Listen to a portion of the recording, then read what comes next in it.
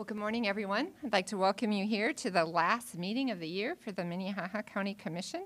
Um, and before we start uh, the pledge, I wanted to go ahead and wish Commissioner Heiberger a belated happy birthday. She had a very big birthday, and we didn't put any buzzards or anything over her chair, but we wanted to make sure that we could wish her a happy birthday. Thank So, you. All right, with that, we'll start the meeting with the Pledge of Allegiance. I pledge allegiance to the flag of the United States of America and to the republic for which it stands, one nation, under God, indivisible, with liberty and justice for all. All right, with that, we have a couple of um, special recognitions here today.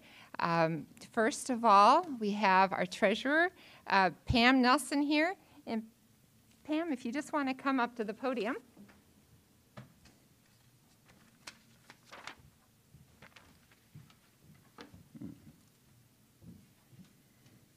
So, you don't mind, I'll just share the, Oh. with you. Oh, I didn't know I had to speak. Oh, well, I'll give you an opportunity. Um, so this is uh, Treasurer uh, Pam Nelson's last official meeting with us. She's always welcome to come back anytime she wants to. Um, but we have, as a just on behalf of all the citizens of South Dakota, uh, we have a big debt uh, to pay to Pam. She has been in service since before I got out of high school, which was just a day or two ago. Um, but she was first elected to office in 1979. She served in both the State House of Representatives and the State Senate.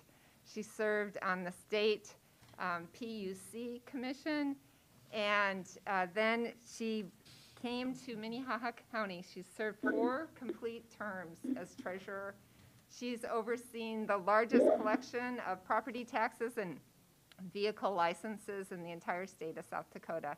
And um, for all of your service, we just really want to thank you. We have a Well, card thank with a little bit of appreciation. recognition. I appreciate it. Step up here. And you're welcome to take the podium. Well, I would like to thank all of you. I've enjoyed working as a county commissioner and with all of you. I also started, um, uh, I was on the school board for nine years before any of the stuff that she mentioned, but, so, uh, I've been around a while. And hopefully I learned something, so, um, thank you so much. I appreciate the recognition. It means a lot to me. It really does. Thank you. Thank you very much.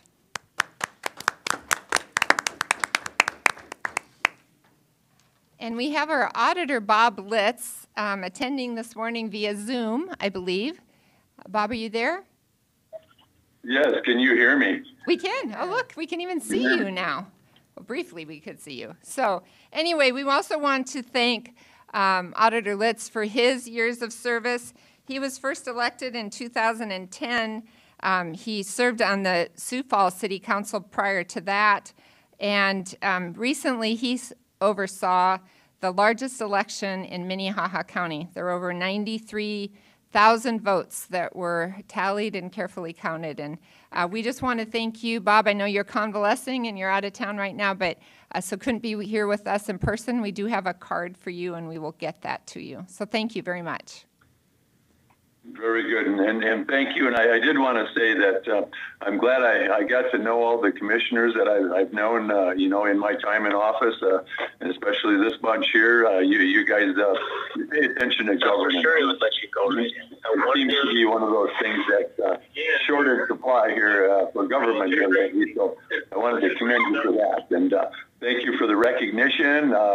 And I will be back in Sioux Falls occasionally uh, for medical appointments, and uh, I'll probably stop by. So uh, once again, thank you, commissioners, for uh, for uh, helping me learn things in life and professionally. I, I do appreciate it. Well, thank you. Thank you for being with us this morning.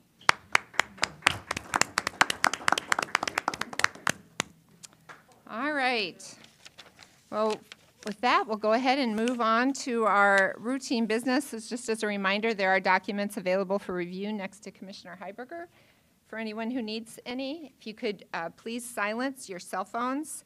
And those of you who are attending via Zoom, if you could please put yourself on mute until such time as you plan to be speaking, that would be amazing. That'd be great. And Carol is here this morning if anybody needs any special listening device.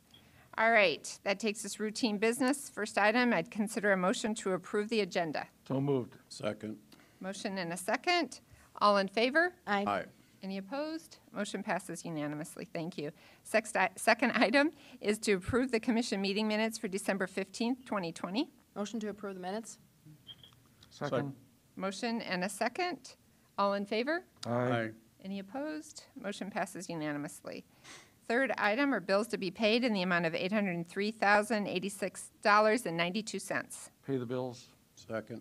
Motion and a second. Any comments? Madam Commis- Chair. Commissioner Barth. Um, I wasn't going to make any comment, but in reviewing the bills, it was a little bit of an extraordinary one. We had 17 bills for decedent transport for MedStar at $400 each.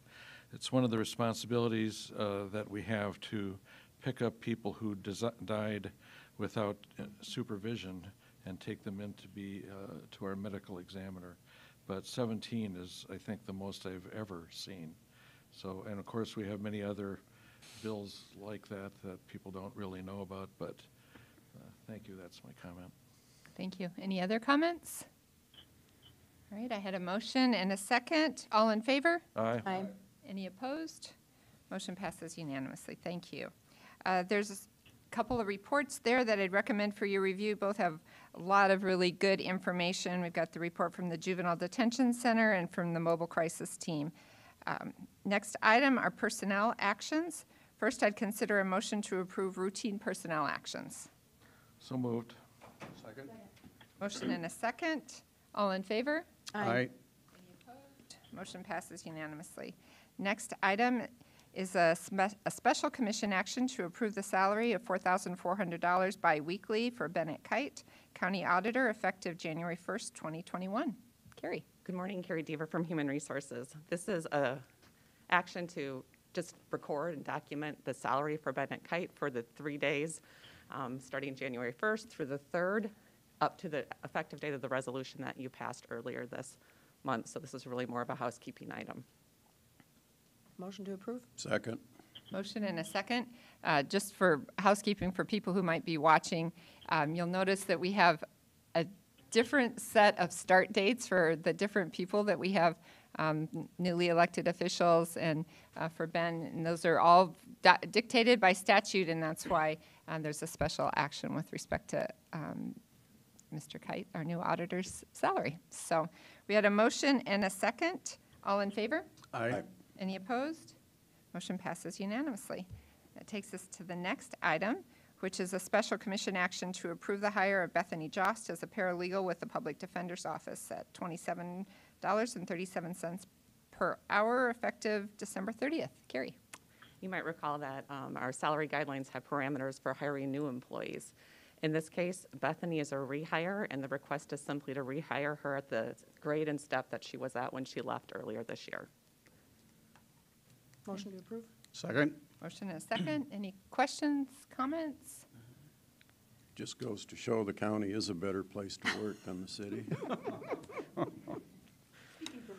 Right? Right, right. All right, we have a motion and a second. All in favor? Aye. Any opposed?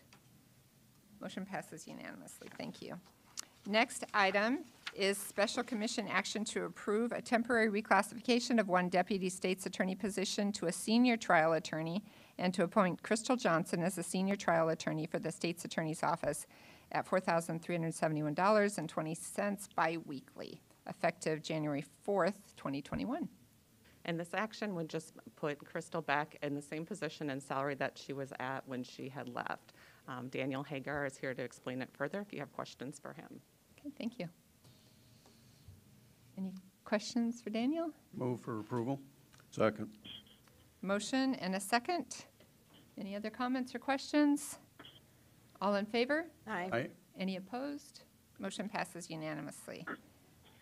That takes us to um, item E, which is special commission action to approve the hire of Eric Bogue as the Chief Civil Deputy State's Attorney for the State's Attorney's Office at $4,824.40 biweekly with a paid time off accrual of six hours and, uh, 6.46 hours biweekly effective December 30th, 2020. Uh, Many of you might know Eric Bogue. He is a very experienced individual who is, um, we're grateful that he has accepted our chief civil attorney position.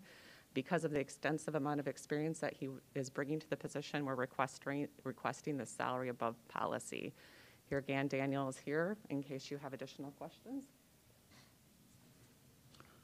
I would move for approval. Second? Motion and a second.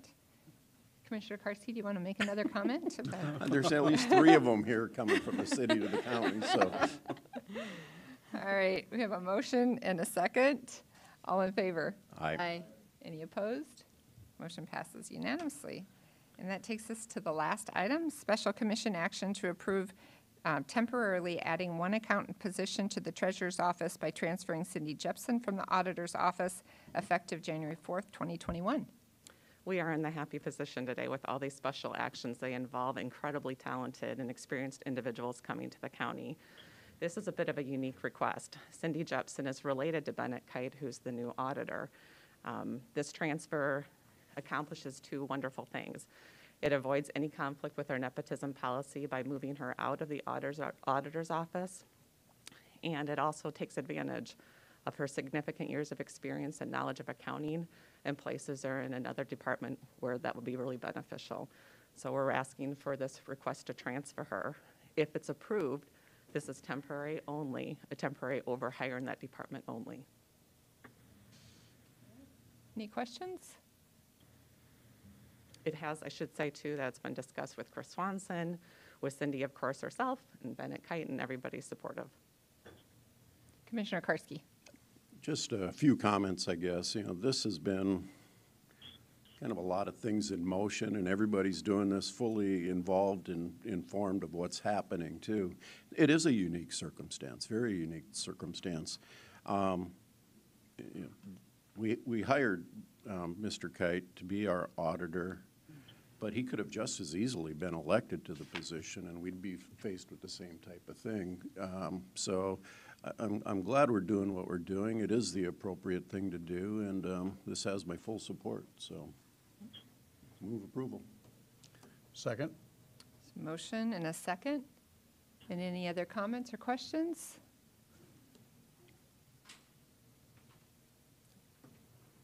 All right, all in favor? Aye. Aye. Any opposed? Motion passes unanimously. Thank you. Thank you. All right, that takes us to item six, abatements recommended for approval. Um, There's one item, City of Sioux Falls parcel ID 91419, 2019 property taxes in the amount of $2,079.34. Good morning. Good morning. Uh, I'm Kyle Sexy with the Equalization Office.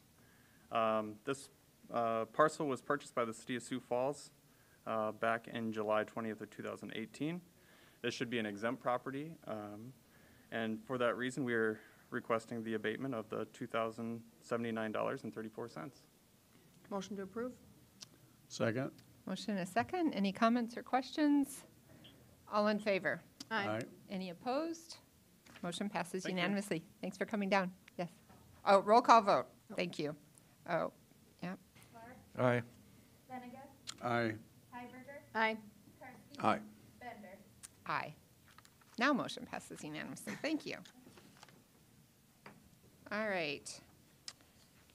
So that takes us to item seven, which are notices and requests. Authorize the auditor to publish notice of public auction of the Minnehaha County gravel pit on February 8th, 2021 at 11 o'clock in the courtroom of the Old Courthouse Museum. Craig, good morning. Good morning, Craig Dewey, Commission Office. As uh, you have discussed at several meetings before, the county-owned gravel pit has been declared surplus. The county does not uh, mine gravel anymore, and so uh, we have unmined gravel in land that uh, the county has declared surplus, and the method that you selected was by public auction. Uh, That public auction is scheduled for February 8th at 11 a.m. in the Old Courthouse Museum, uh, Wieman Auction. Uh, Kevin Wieman is going to be conducting the auction, and so they'll have a screen there that they'll bring. They bring an 80-inch TV with them, and they'll bring sound, and that way uh, the Old Courthouse Museum will provide for social distancing. Uh, Certainly, uh, we hope as many people show up as possible. Uh, The marketing materials that uh, are being distributed to different contractors and other interested parties include a borings report, so that uh, any potential bidder has some background. Uh, Geotech was the vendor who conducted that boring, and then we also have uh, the property platted out separately, uh, as well as overhead maps. And then uh, it also is important to mention that because the property is immediately adjacent to the current law enforcement shooting range, it's very important uh, for public safety reasons that law enforcement can continue to train there with the gun range. And so uh, language has been inserted into the deed uh, for the property that would indicate that whoever buys the property would be subject to that continuing potential discomfort as shooting range operations continue. So we just want to make sure that any potential buyer is also aware of that. And uh, so anyone who would have an interest in in different uh, gravel mining or aggregate, we would certainly welcome their participation uh, in the auction. Uh, Additionally, uh, you can contact the commission office if you would like to receive additional information uh, regarding the auction or any other details, and you can get the full marketing package of all the materials. Uh, Commissioners, do you have any questions about that process? Thank you for letting me put in the plug to the public about participating. Commissioner Barth? Will people be able to bid online? Uh, Right now, this is in person only. Okay. Any comments or questions? Commissioner Commissioner Karsky? This is land that's been owned by the county for close to 100 years, probably longer, has not been, no taxes have ever been, have been paid on it in that time. Um, The sale of this land will give cash to the county for us to pay our bills. It'll put it back on the tax rolls. And um, we haven't mined or used gravel in our highway department in decades. So it, it's just land that was sitting there, and this is, this is a, a good thing for, again, for everything all the way around, so. Yes, Commissioner Karsky, and actually to build on your comment as well, uh, for a section of uh, land that is outside of city limits but in close proximity to Sioux Falls, this land is very well positioned compared to somewhere that could be further out in the county, and so I think that could be a benefit for any potential uh, interested party. All right. Any other comments or questions? If not, I consider a motion. Move approval. Authorize the auditor to publish notice of auction? Second. Motion and a second. Roll call vote, please. Aye. Heiberger, Aye. Karsky. Barth, Aye. Bender. Aye, motion passes unanimously. Thank you. Thank you. All right, item eight, planning and zoning notices, there are none. Item nine, petition for compromise of lien, there are none. Uh, That takes us to opportunity for public comment. Is there anybody here this morning for public comment?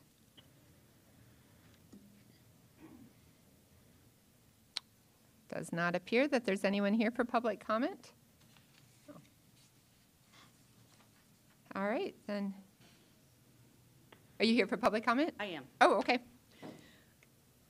I guess I have some concerns that I expressed to most of you yesterday about the temporary transferring of uh, someone from the auditor's office to the treasurer's office. Um, In statute, in statute, statutorily speaking, the there are only two areas that the commission has anything to say about in elected officials' offices. One would be the budget approval, and the other would be the hours in the building. Short of that, you have nothing to say about who's, who works in the office, what, how the work is distributed, or any of that legally. So what you did earlier today is in violation of state law. Well, we've had it checked out by the state's attorney. It was approved by the newly elected treasurer. Doesn't take effect until the newly elected treasurer is in office. So we're confident that our, our action was legal, but we appreciate you taking the time uh, to express your opinion. Thank you.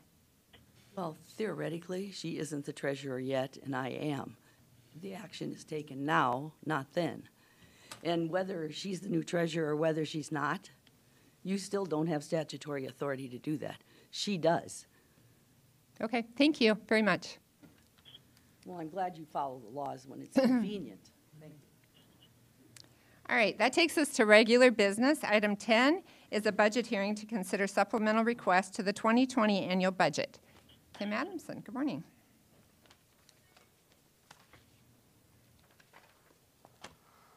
Good morning, Commissioners. Kim Adamson from the Auditor's Office. Um, I'm bringing before you today a list of year-end supplements being requested by various departments in the General Fund, the 20, uh, the 24/7 Fund, and the Highway Fund. Um, These budget requests were noticed two weeks ago uh, when you approved, when you gave us authorization to post notice for this budget hearing.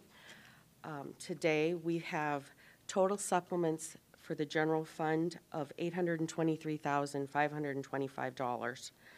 Those consist of uh, a request from the commission office for $41,000 for uh, multiple budget lines, part-time, group insurance, audit fees, publishing fees, and furniture and office equipment.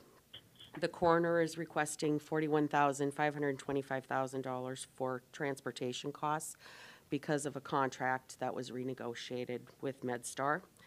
The Elections uh, Department is requesting $212,000 across multiple budget lines, overtime, part-time, payroll taxes, precinct officials, postage and printing, and these are the result of the higher-than-normal absentee voting and voter registration activity this year. Juvenile Alternatives is requesting $165,000 for, uh, to, to fund the contract with Lutheran Social Services for shelter care.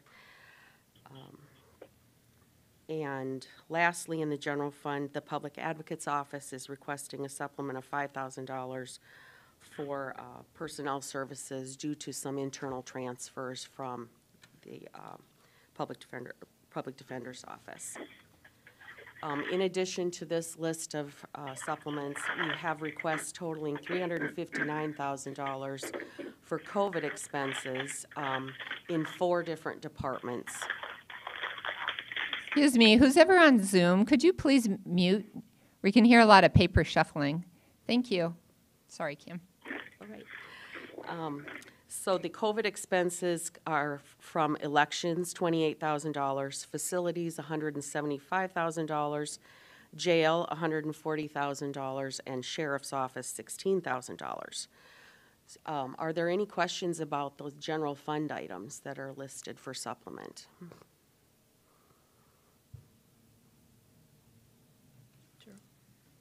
Oh, I'm sorry, Commissioner No, that's Beninga, fine. sorry.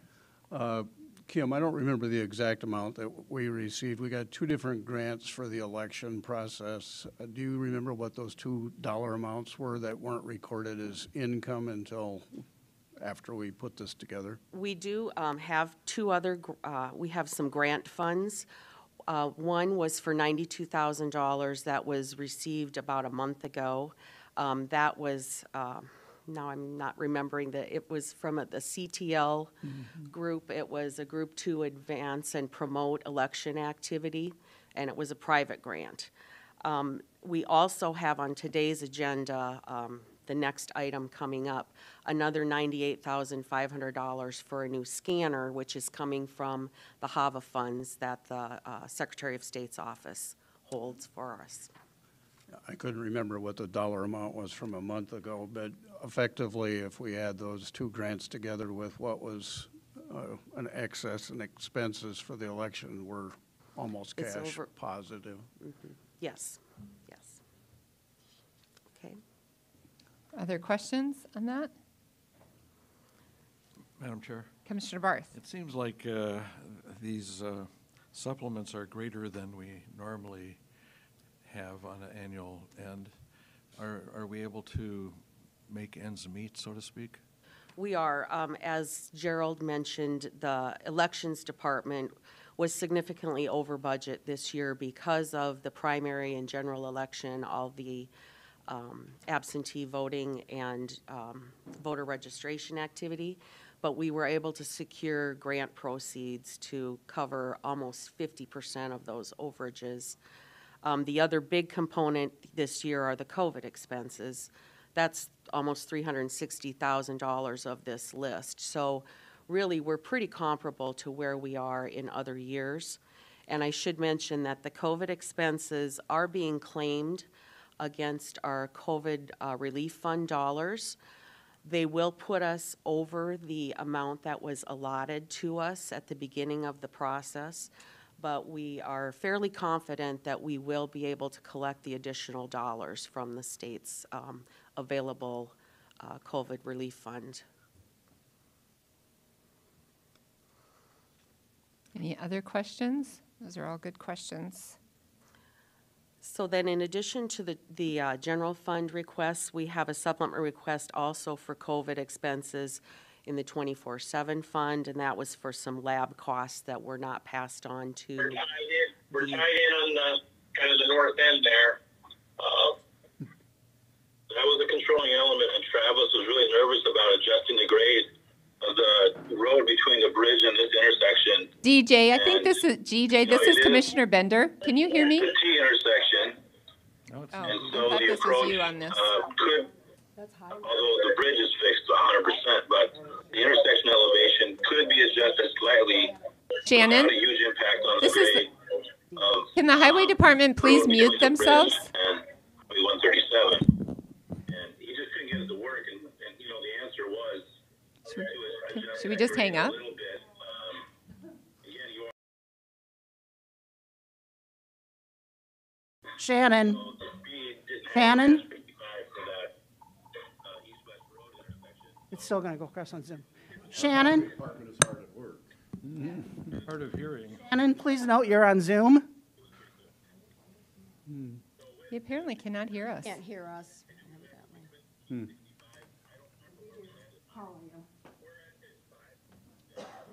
Was ever a question about reviewing our audio system? I think we just Yes. verified it. Mhm.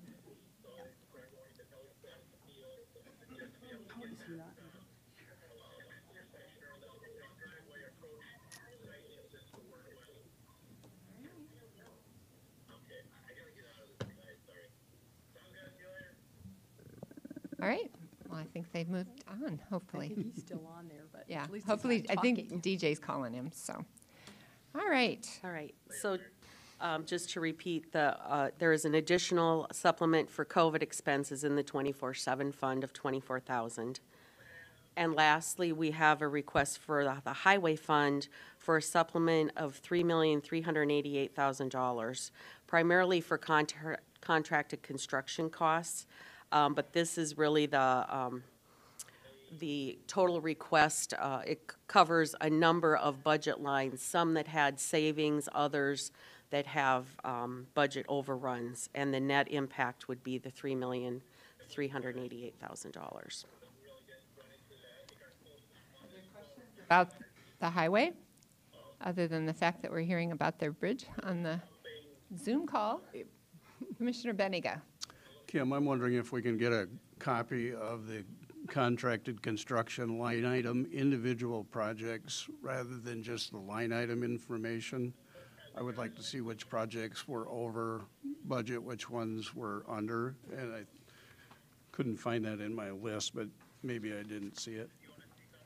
aggregated, the information that we provided was aggregated per project. And DJ is here, DJ may be able to help with that. Were you able to get a hold of Shannon? Yeah. Okay, He's on mute now, sorry. okay. DJ Boothie, Highway Superintendent. I heard part of your question, uh, question, Commissioner Beninga. You want a project list showing the overages and unders for each project? Y- Yeah, I would like to see an itemization of the projects that we contracted out and how we came up with a net dollar amount of those. Okay, we'll get you that later this morning. Thank you. Any other questions for DJ on the highway? I, I think as DJ acknowledged in his memo to the commission that's um, on Dropbox, that uh, these overages are not something that he intends to have happen again. And we are looking at um, software solutions to make sure we're better tracking this and um, but it won't happen again. All right, anything else? Any other questions? All right, Kim, did you have anything else for us? Um, No, I'm just asking that you authorize the attached resolution to approve these uh, supplements to the 2020 budget. Okay, thank you. So Commissioner Beninga. Kim, I'd just like to acknowledge your extra work in the last month to be able to keep up with all the projects that are going on, along with all the issues that we're dealing with. Um, I do appreciate your extra efforts. Thank you very much. So Olivia, this is a hearing, so if there's anybody here who would like to speak in favor of the budget supplement requests, This is your opportunity. Anybody here who would like to speak in opposition to the budget supplement requests? All right, hearing none, I would um, ask for a roll call vote. Did we have a motion? Oh, sorry, yeah, motion would be helpful. Thank you. Move to approve. Second. Motion and a second. Any other comments or questions? All right, roll call vote, please. Heiberger, Aye. Karsky, Aye. Barth, Aye. Beninga, Bender. Aye, motion passes unanimously. Thank you very much, Kim. We do appreciate your extra work on Yep. this, so. All right, that takes us to item 11, which is consider a motion to authorize the following um, 2020 budget supplements using grant donations and reimbursements. Um, First one would be emergency management from various department revenue ASNs to various department expenditure ASNs. So I would just like to provide, if I may, a little more background on this group of supplements. These are annual actions that are taken um, to supplement budgets for grant receipts that we receive. They come primarily to the sheriff's office and emergency management. And then we have a few additional items um, in the general fund and some pass-through grant funds. So we have representatives from emergency management and the sheriff's office to speak to their specific supplement items. Thank you. All right, so the first one is the emergency management. Hi, good morning. Uh, Jason Gearman, Minnehaha County Emergency Management. I'm here just for you to consider a motion to uh, approve, approve this. Again, this is for grants that uh, mainly emergency management and the sheriff's office deal with each year. Um, It comes out of our expenses, and then as we get reimbursed through the year, um, we need to obviously bring that budget back to, back to even. Questions for Jason? I'd make a motion to uh, do the emergency management uh, supplements. Motion and a second. Any other comments, questions? All right, roll call vote, please. Barth, Aye. Beninga. Heiberger. Aye. Karsky. Aye. Bender. Aye. Motion passes unanimously. Thank you very much. All right, that takes us to the sheriff's office um, requests for supplements. Joe Bosman, good morning. Good morning, Commissioners. Joe Bosman with the Sheriff's Office. Same thing as uh, EM Director Gearman had mentioned earlier. We also receive several grants or donations or reimbursements from uh, either federal, state, or insurance payouts from vehicle accidents that come in as revenue that we need to supplement at this time of year to offset the expenses that we have spent out throughout the year. Again, this is a, an annual action that brings our budget back up to, to neutral. Motion to approve? Second. Motion and second. Commissioner Barth. So this has nothing to do with equitable distribution. Not yet. That'll come back later. We still working on the All right. Anything else? So we have a motion and a second. Roll call vote, please. Karsky. Aye. Barth. Beninga. Aye. Heiberger. Aye. Bender. Aye, motion passes unanimously. Thank you. All right. C is various county funds to various county budgets. So this last group includes um, several general fund items, um, the receipt of HAVA grant money for the Elections Department, some donations for human services, um, also uh, emergency shelter grant money that came, flowed through to the county from the city uh, for COVID-related response, um, some, and some safe home donations. Lastly, we have a supplement request for, um, of federal and state grant money that was used to provide expert witness services. Move for approval? Motion and a second. Roll call vote, please. Beninga. Aye. Heiberger. Aye. Karsky. Barth. Bender. Motion passes unanimously. Thank you very much. Mhm. All right. This takes us to item 12, which is a brief on the highway facility design and cost model. Craig Dewey, good morning.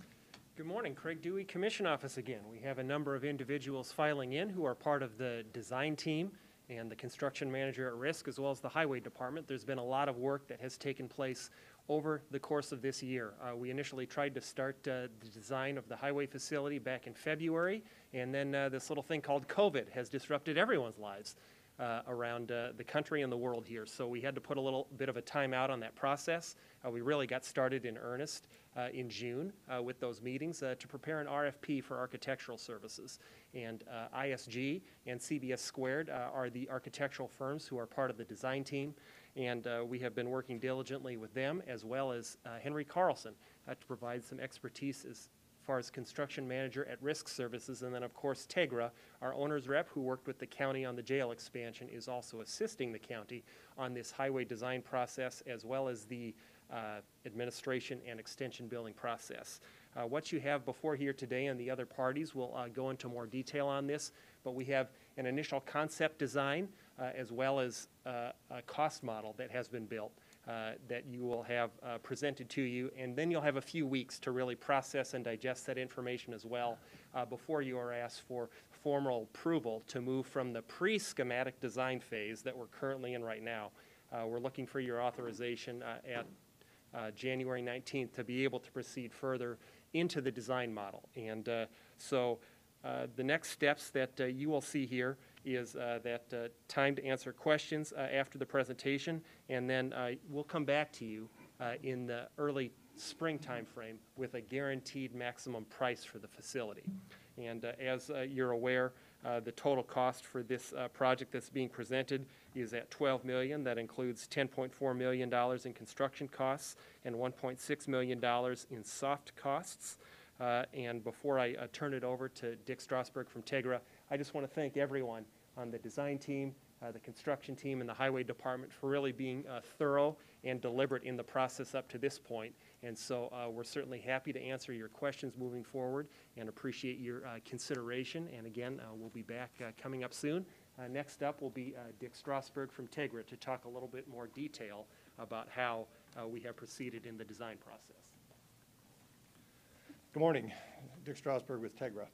So as Craig said, we went through a selection process for the architect and also the contractor. And uh, after we got them on board, the first thing we wanted to do is go look at other facilities, both on the private, ones that were built for private industry and one that were built for public sector.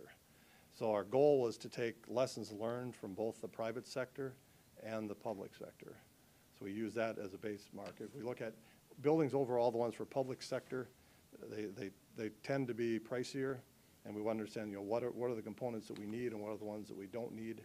And uh, so the architects are going to present a, a design solution that I think we, we've come up with that's, that's really a pretty, pretty good solution for, for the dollars we're going to spend. Um, So once we got to that point of touring, then we, we took a real in-depth look at the needs. Uh, now DJ and his team had, um, there's another firm that was involved to do the master plan study a couple years ago, master plan and needs analysis. So this team basically uh, took that and, and pushed it uh, kind of to the next level. So we did a pretty in-depth look at the needs analysis. Then we had, um, we had a lot of concepts. We looked at the existing site and studied that. We looked at other sites. And, and, and I can say this was a, a very thorough process we went through on both of those because there's a lot of moving pieces on it. Uh, and it was elected to stay at the existing site. And um, primarily because of the cost of replacing the salt storage, fuel island, other outdoor storage or, or cold storage, and uh, the infrastructure of the site. So then, once we got, made that decision, then we went to uh, really start looking at the, at the design. And um, I think it's fair to say this, this is, we've had to squeeze very hard to figure out how do we, how do we get this within, you know, a reasonable budget and still meet all the needs. And so some of the things we looked at, that, this is an example of the private and uh, the public sector, uh, you know, sort of thinking coming together. It's a pre-engineered metal building, but we've got concrete at the bottom four, four to six feet up. So, because that's where, we so if you look at the buildings that were built in the seventies, where do they start really showing the wear and tear? It's at the bottom of the buildings. So we've got concrete at the bottom. So we've kind of, that's an example of taking the best practices from, from both private and public sector. So right now we're at the we're really we're really at this early early design phase. This isn't what you're going to see isn't a completed design. We've spent a lot of time on the budget. So we'll first show you the building and then we'll jump into the, the numbers.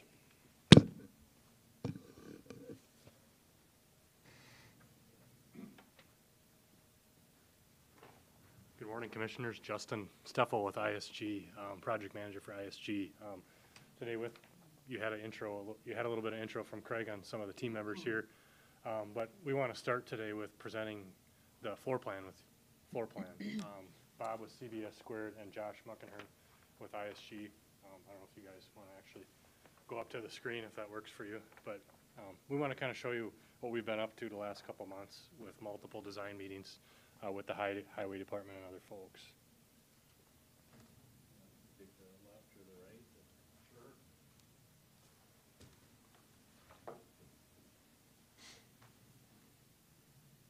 Good morning.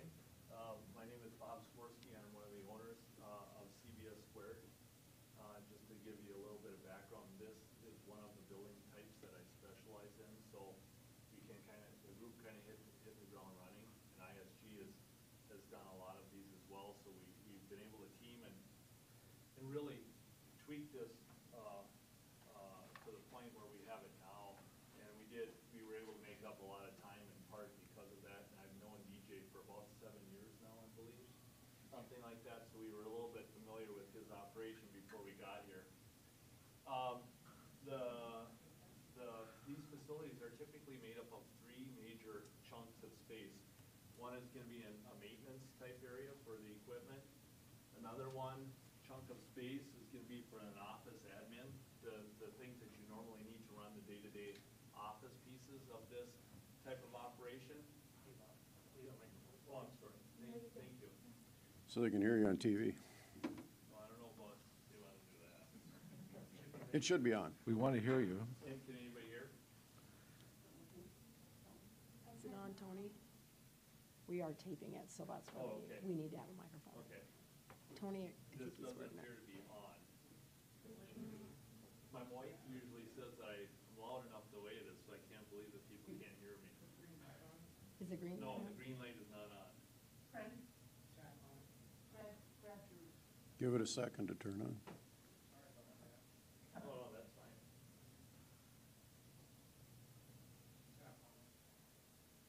The green light's not on on this one.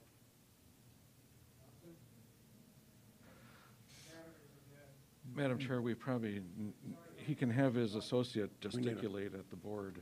Budget supplement for batteries? Do you, thi- do you think maybe you could come to the mic and that, then he could help point out the places that we need to look at? Thank you. Be happy to do that. Thank you. Is this better? How much? Okay. So um, to the upper part of the screen is the third component typically. And thank you for who- for whoever's moving that around for me. That's fantastic. Uh, There's a vehicle, a heated vehicle storage area, and, and that area is typically uh, houses the, the equipment that's needed literally on a day-to-day basis that has to be out on the road. It's not necessarily for seasonal storage of, of, of equipment or equipment that's used in a seasonal capacity, some in the winter, some in the, in the summer, summertime. So when you think of those three pieces, those three chunks of space, they all have a, a different associated cost of construction.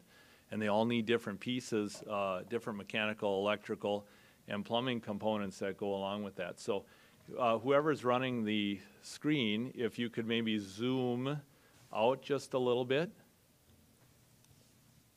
So, um, this is literally the most efficient floor plan that you probably, one could probably come up with. Uh, I've been doing these types of facilities for about thirty-one years and, and uh, arguably, they're all, they all kind of look the same. And I think the commissioners who are on the tours, uh, and, and again, the commissioner's been phenomenally proactive, uh, in terms of participating, not just, not just being, uh, uh, um, kind of with a, you know, watching us in a non-participatory role. They were on the tours.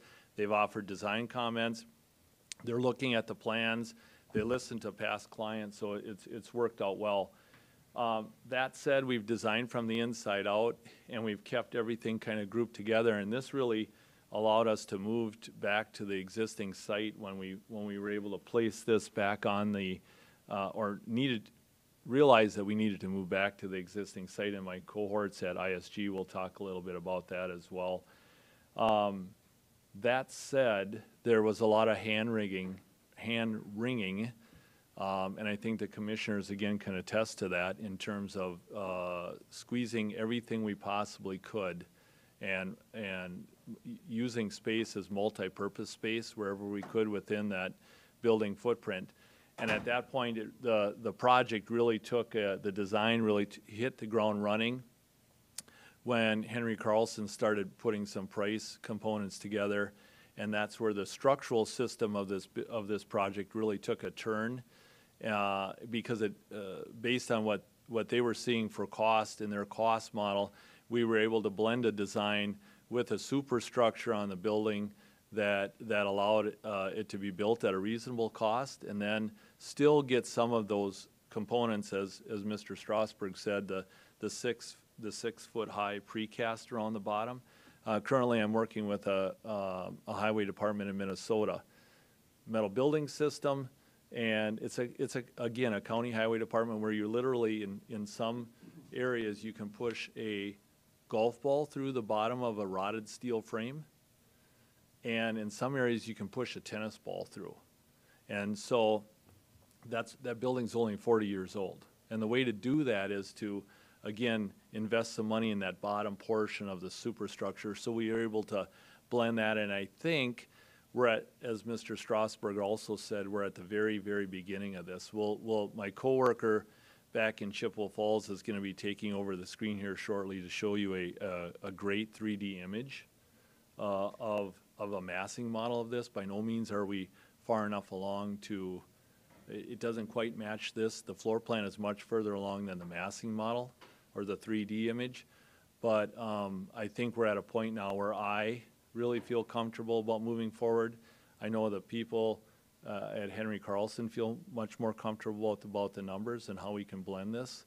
Uh, and I think DJ's group are, are in a situation where they feel comfortable about moving forward with uh, a tweaking on the floor plan, as it, as it were, to, to make sure that what we're building actually works for them. Otherwise, you're at a point in, in your life where you have to say, what are we doing the project for? And we haven't sacrificed any of those things yet. I think we're at a, we're, there's been a lot of work put into this, into this design. I mean, this is, this is probably gonna be ranked on the top ten of, of, of something that, that we've, uh, the amount of meetings that we've had, uh, even amongst ourselves as the design team, it, it's, it's really paid off. So, Josh, would you like to add anything to that before we maybe go to a 3D model? Um, you know, not not really. I think you did an awesome job explaining kind of the process and um, just the overall difference in the superstructure. I think that was a key point because that was really a breaking point, if you will, in the in the coming bringing the budget down and just really making the building as efficient as we possibly could. So I think that was a That, that was one, and then, and then realizing earlier, earlier on, and I think the commissioners can attest to that about, it, it was pretty self-evident that in order to cut some, of the dollars that we needed to out of this project, we were gonna have to stay at the existing site. Or the, the county was gonna have to stay at this existing site, because when you start replacing salt sheds and, and those things, maybe in a different period of time than you normally would have to, given, even if they have three years of life cycle in, you know, left in the structure. Uh, at that point, that really was the, that was probably the other big key. We, we, we can, we can argue about all day long about taking four hundred square feet out of a room or two hundred square feet out of a room, but at the end of the day, the, the site and, and the superstructure were probably the two things that really helped drive the, drive this to a point where we can feel comfortable coming today here in front of you and asking to proceed to the next step, so. I did, did have one one last point to make, um, just for clarity. Um, as you'll see on the site plan, when we get to that, the orientation of the building, the the offices, kind of this bottom portion is closer to the highway, more visible.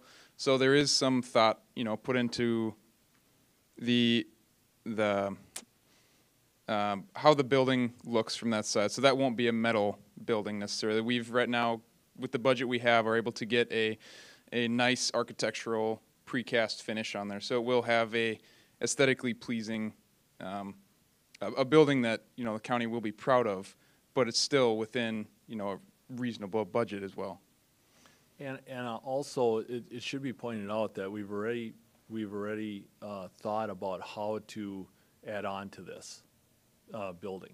So whatever we're doing today i- is, is, is easily adjusted or modified in the future depending upon how you grow. So that was obviously one of the key components that we, that had to be in this project, so.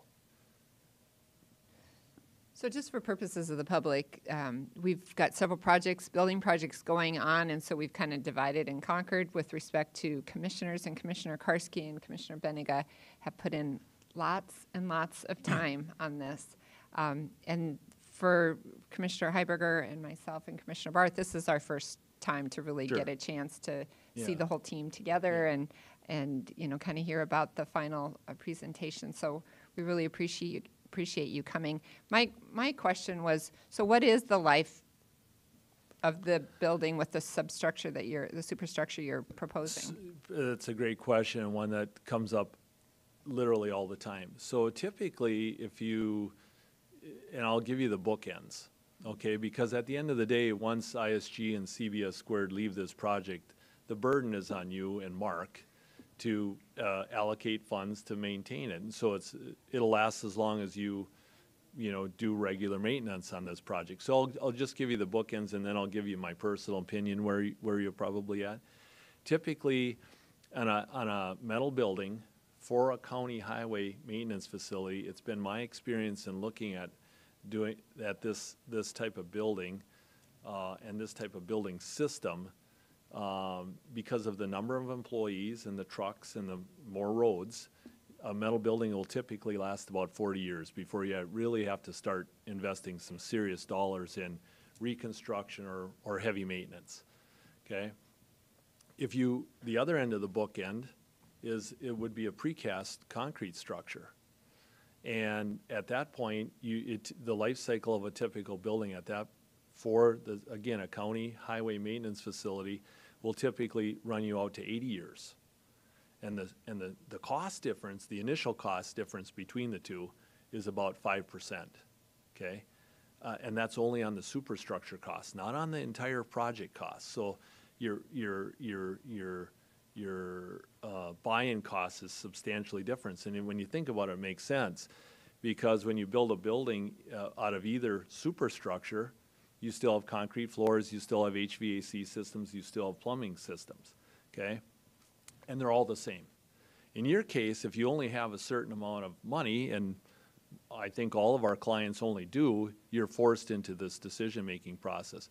So to answer your question, uh, and this is then my personal, professional opinion, um, think you're gonna be talking some, someplace easily in the sixty to sixty-five to seventy-year range, in part because you're spending, and we're still spending money on that concrete bottom you know, of the building. And that's, that's really where the aggressive, the salt, you know, comes into, because even when the, the floor is dry, there's always just a, a it's, it's, you can't see it, it's, it's so fine.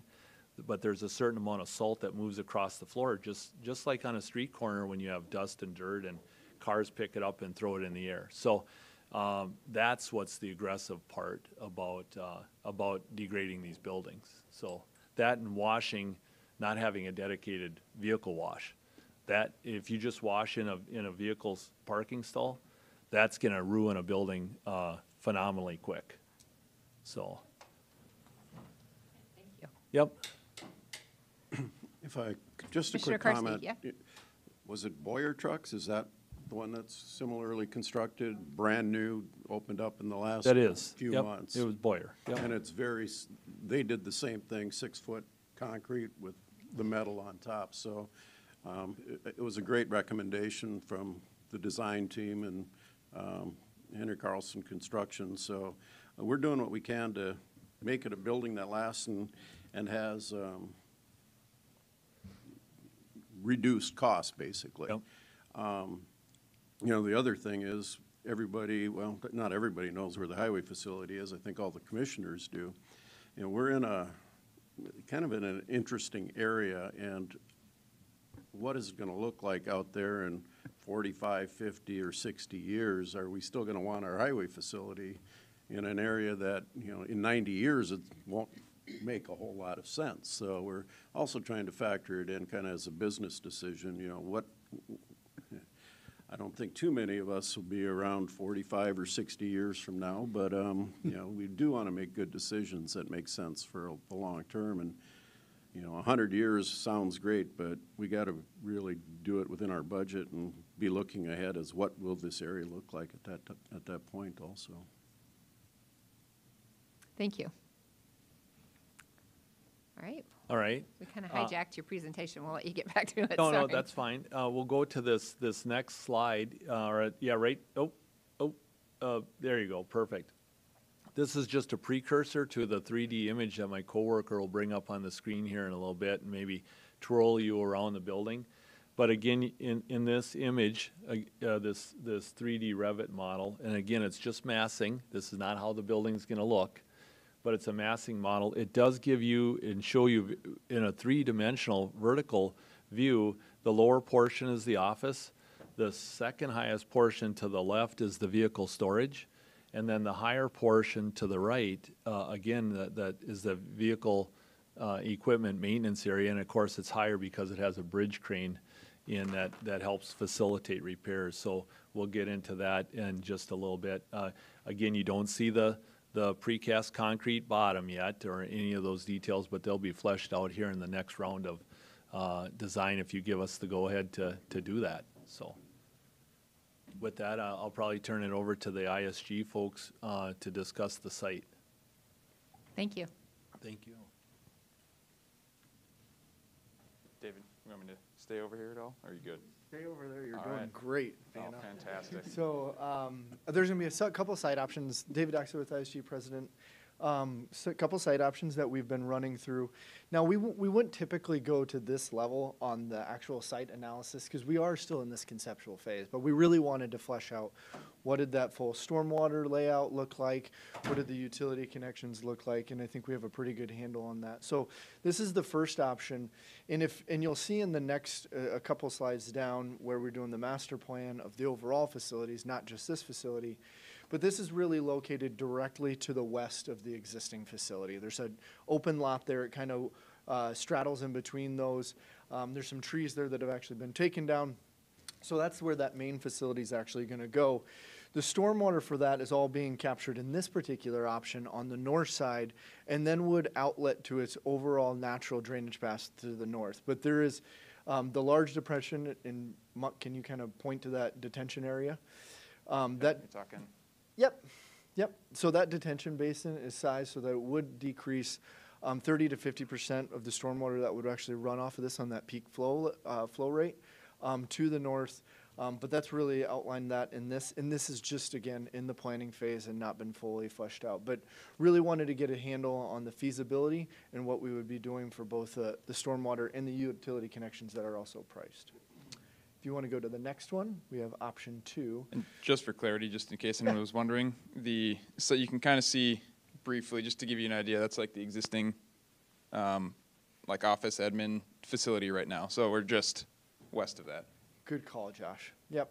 So we did also want to look at one overall outlet, and this is option two.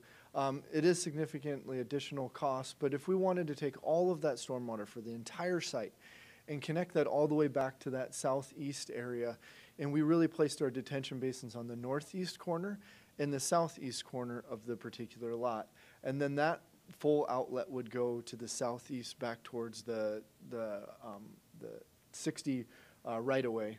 Yep. So looking at this, is this most certainly feasible? There's a couple things that I do have an issue with on this particular option. Um, a, significantly more money.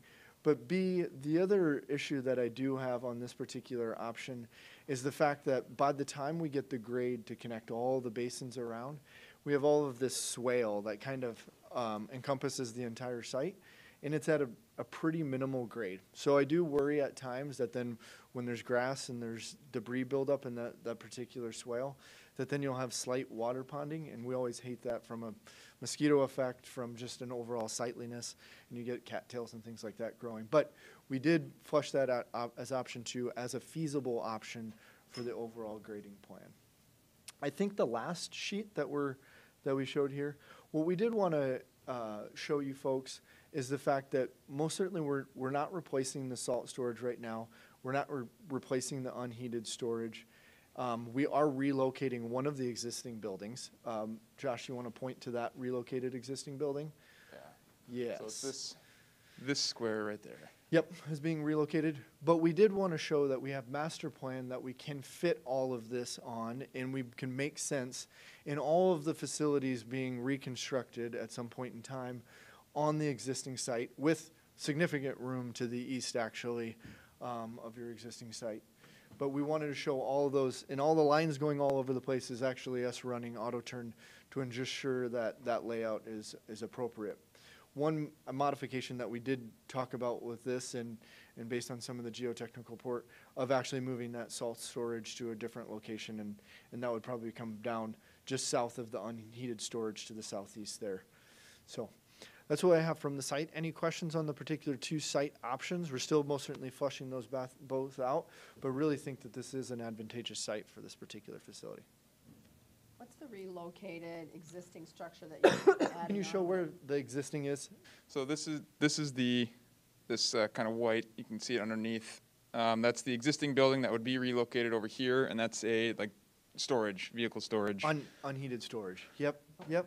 And uh, just to add a point of clarity to that, that's, that's just another example of one of the, um, the efficiency uh, items that we looked at, rather than building, you know, brand-new cold storage right now for everything. We're, we're really reusing what we can on the site, and then uh, having the ability to expand this building in the future when that comes. So by moving this over there, it's a very cost-effective way to maintain as much storage on the, the site as, as possible. And we're actually maintaining the existing facility for, for that storage for now as well. So we all, we know that that'll be a future phase and the unheated storage can most certainly be a future phase at a later time. But right now, we're uh, really using as much as we can on that existing site for what we have for um, uh, existing buildings to actually encompass that, maintaining that we're just going to maintain and construct right now the overall facility on that uh, west side. Commissioner Karsky. The second conceptual design, if you just go up one Yeah. screen. Yep. Yep, Um, You, you- you talk, and we haven't had a very detailed conversation about this, other than I think Commissioner Beninga and I saying, we have to take care of the drainage issues Absolutely. out there. Yep. And um, we want you to show us what it is. You, you say significantly more. I mean, what, what's significant? Yep, I think we. Yeah. a couple hundred thousand dollars to take care of our runoff and be a good neighbor, because that- part on the southeast corner, a lot of that's coming from our salt storage facility. Yep. I get what you mean. There's, it, it's not good. Yeah, We yeah. need to be a better neighbor out Yep. there than what we have been, in my opinion, and I, I even think that that should be done regardless of whether we were doing a maintenance facility, and it, sh- the cost of that should be looked at Yep. outside of this, because it, it just has to be done. And, and I know I had outlined, you know, one option that I really think, when we get into the design, I think an option that really makes a lot of sense and, and doesn't create the swale that is all the way around the site is really if you look at option one and having that north drainage area that would really take care of the stormwater for the new facility, but then still constructing the basin that would be to the to the southeast with Mhm. some level of a you know a forebay in it so that you're getting some settlement out prior to to actually discharging i think is a real option and it's probably a more cost effective option and something that we would most certainly evaluate in that but we are decreasing the overall peak runoff on all of the options significantly just to follow in line with with that overall impact as well yep If I may? Yes. Engineers like to use the term swale. What's the difference between a swale and a ditch? Nothing. Okay. It's just okay. nice. Yep. Just to be clear. Yep. So as you're doing the master planning, what's the plan for the existing admin building? Will that be, will that be torn down once the new? Yeah, if you, if you go to the overall master plan, what we had anticipated there was the actual existing facility and the ex- existing admin would all be removed. And really what we're looking at there is potentially that salt storage, because if you look where the salt storage is right now, that ground falls off significantly to the north. So if we were to put that salt storage in that particular location, we'd have to haul in a significant amount of dirt. And what we could do avoiding that is actually move that salt storage, the new salt storage eventually, um, to that facility right where the, the, the old facility is and, and decrease our footprint and decrease the construction cost. Correct. Commissioner Heiberger? Yes. Cost of removing the existing building going to be in the bid, or is that gonna be something that comes afterwards? That would be an, a- that would be an additional phase. So right now, the whole, Josh, can you show what we're talking about for the full improvements only on this, right? For this portion of the project, Yes. yes. So it'd be the, the new facility and then moving this storage building over to right here. So the existing facility and both of these would be utilized for the time being. Um, and as you can see, these kind of these colored lines that are going through through here, that was our way of making sure that all the trucks would be able to turn and, and maneuver between the existing buildings that'll be here for um, initially. So you can see they're able to still get around um, all of the existing facilities that'll be remaining. Yeah, good question, though. Other questions? All right, thank you. Perfect, thank you very much. Uh, Before we turn it over to Henry Carlson for cost, um, are we able to jump to the Zoom screen sharing? And jump to that 3D model? If we're, so- I want to be respectful of time, are we, are we okay No, that'd be time? fine, thank Okay. you. And Jay, Jay, if you can hear us, um, go ahead and display your 3D model when you can.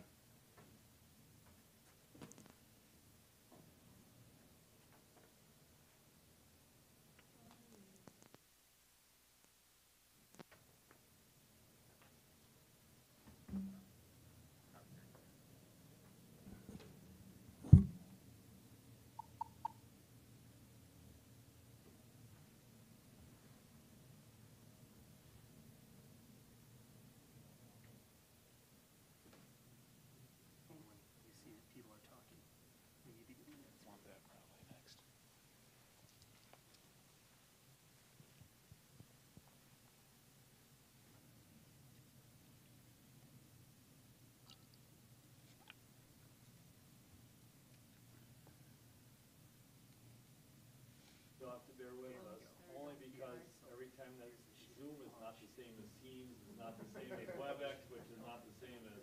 We all live in the same world you do. We're all, we're all dealing with that. Yeah, just bear with us. I don't know, Jay, Jay, if you can hear us, uh, go ahead and hit share. Okay, Jay, you're on. Can you hear me? Yep, I can. Uh, awesome, thank you.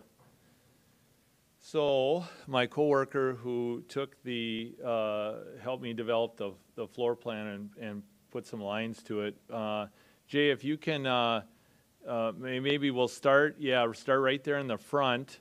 And again, as I mentioned, the lower, the lower level, uh, roof area is that office admin, uh, one of the third, or one of the three components.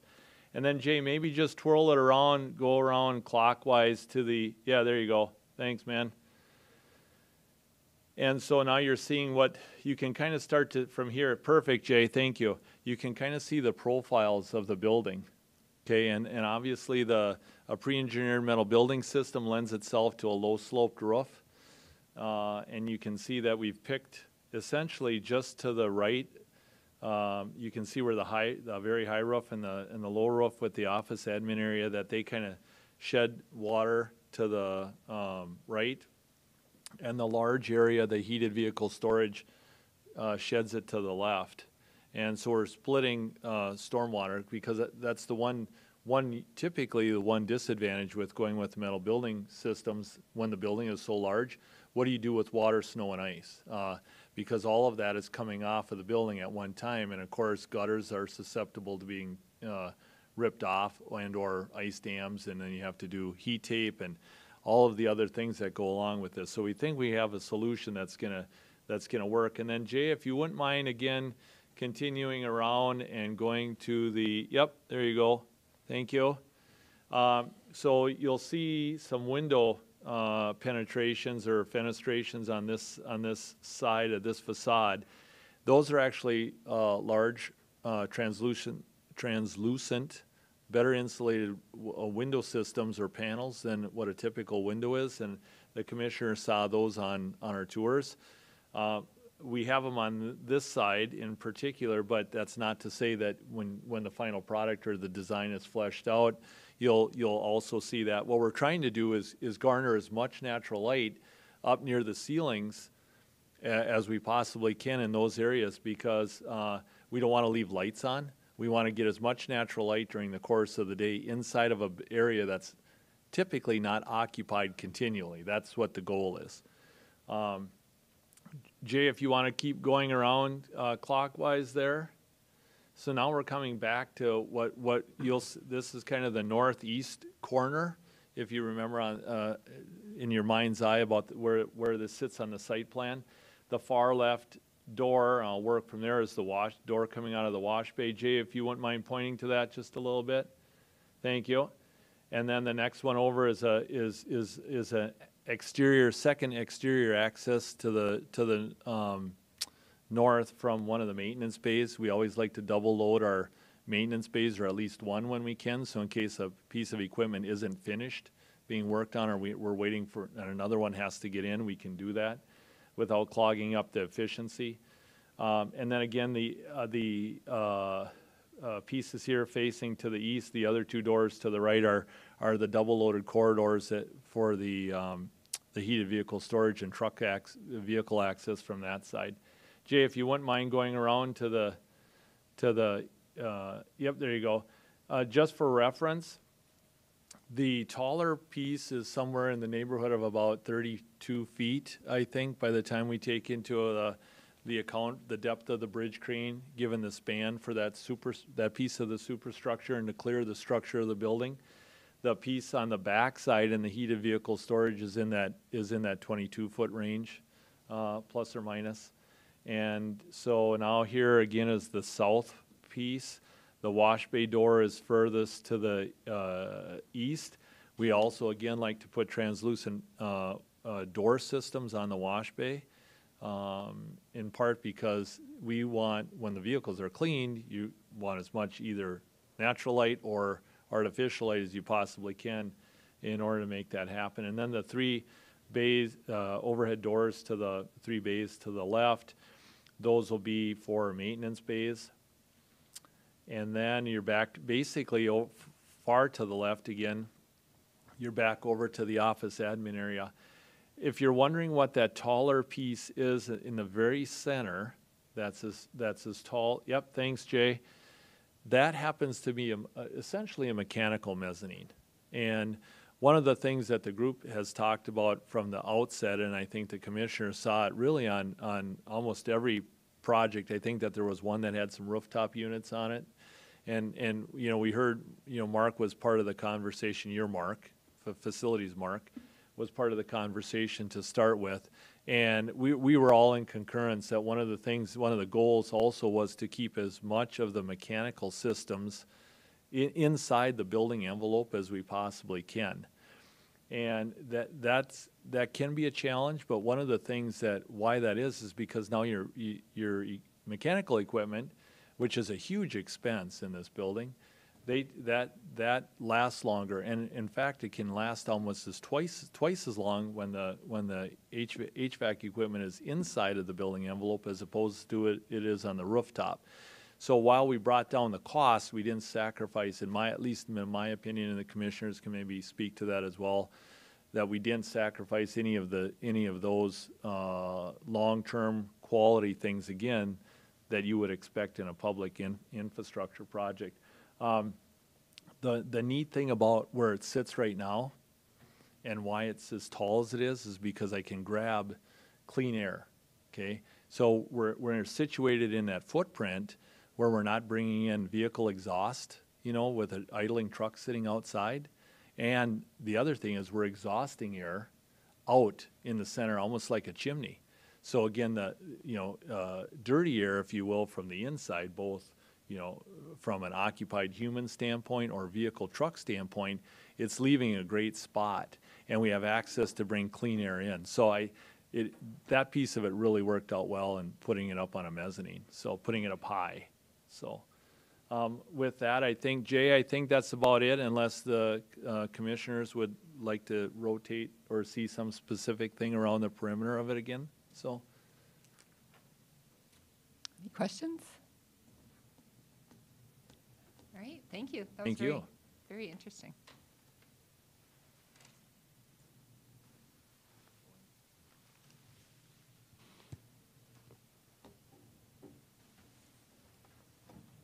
The numbers, guys.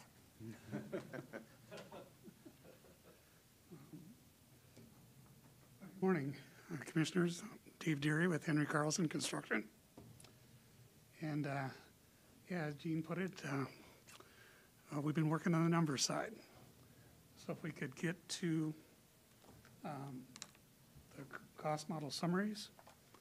And Mike, if you could introduce yourself. um, I'm Mike Carlson again with Henry Carlson Construction. Um,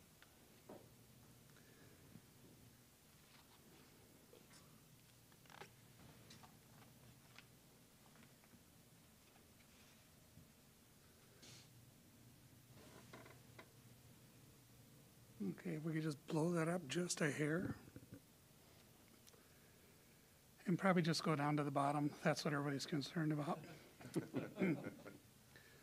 Okay, what you see here is, um, we've been working shoulder to shoulder with the design team and the ownership group and the owner's rep um, for several months now, and um, we built several cost models.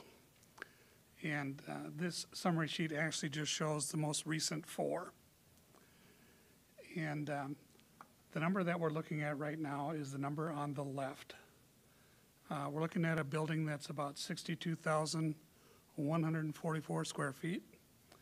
In our opinion, uh, the cost for that facility is going to be uh, just under $10.4 million. Uh, This is the same number that uh, Dick would have showed on the overall project budget. And um, it's taken a while to get to here, um, but we've worked really well uh, with this team. Uh, We've had some very, very good discussions and uh, arm wrestled over a lot of things. Uh, But um, we feel really good about this number and the scope of the project. And we believe that this, uh, this delivers the project that was, um, meets the expectations of what the owner wanted from the beginning. Uh, Just a couple things that I do want to touch base on, and uh, this is still a work in progress.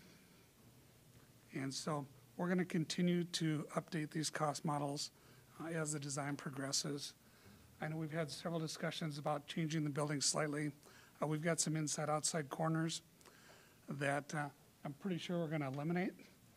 And uh, we're actually not going to spend money doing that, but we're going to gain some square footage in the building. So um, we're just going to make the building a little bit more efficient. Uh, But at the end of the day, uh, we're comfortable that this building can be built in that $10.4 million um, construction cost range. Um, There is a lot more detail than what you see on this summary sheet.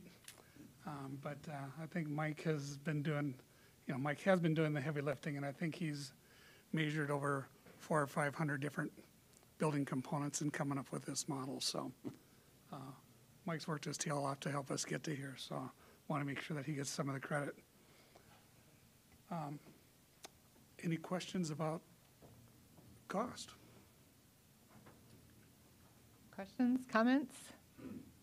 I would say uh, Mike went through more than 500 different items. It seems like every meeting we had, we had multiple discussions, and frankly, we were impressed with Henry Carlson's and the group's um, expertise in trying to get some of the things that we talked about over the very beginning of the process to where we're at right now uh, was phenomenal because we made some significant changes and reduced the cost by a significant dollar amount, and I appreciate their professional support. Thank you. So Maybe we could, uh, if we could slide the, uh, the, the screen up to the master budget.